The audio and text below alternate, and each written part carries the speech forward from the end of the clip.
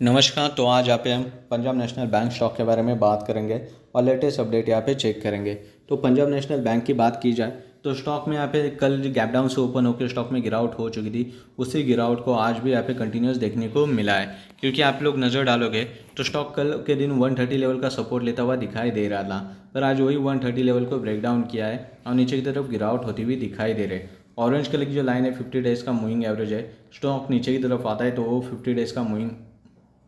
Fifty days का moving average है, वो सपोर्टिव एक्ट हो सकता है और वहाँ पे सपोर्ट लगने के चांसेस बन सकते हैं स्टॉक के लिए। बाकी कोई खास अपडेट रिसेंटली नज़र नहीं आ रही है regarding Punjab National Bank stock अगर स्टॉक के अंदर वॉल्यूम और थोड़े अच्छे बढ़ जाते हैं तो यहाँ से रिकवरी भी जनरेट कर सकता है स्टॉक ऊपर की तरफ़ जाने के लिए। तो रिसेंटली बाकी कोई खास अपडेट नज़र नहीं आ रहे न्यूज़ की तरफ़ भी नज़र डालोगे तो कोई खास न्यूज़ नज़र नहीं आ रही regarding Punjab National Bank stock